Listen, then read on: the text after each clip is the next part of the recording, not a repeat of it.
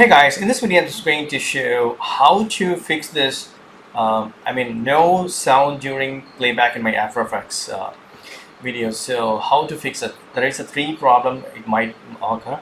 When you do some RAM preview right or for example this is an uh, uh, video just I just did a, with a green screen.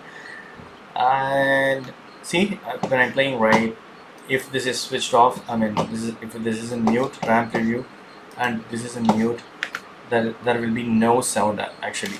So even if I write enable here there is no sound. Because RAM preview should be enabled. This mute play audio in preview it should be enabled. Then only.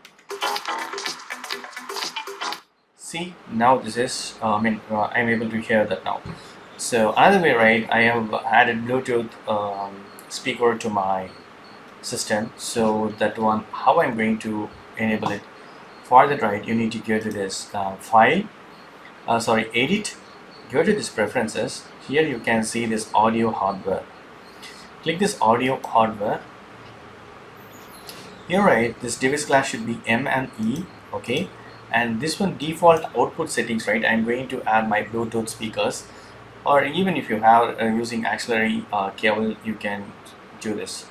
So I'm gonna just um, change from system speakers to our I mean other Bluetooth speakers. So here right this is headphones Zeb-Juke this is my uh, Bluetooth um, speakers so I'm just going to enable this now.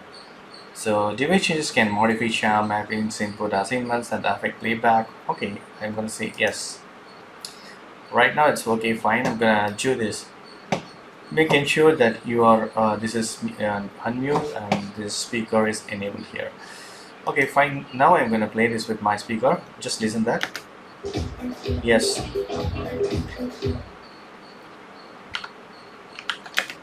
Actually uh, I'm able to hear that sound. One more time I just want to yeah I'm able to hear it so I think now this issue is fixed uh, perfect one, one more time I just want to show that.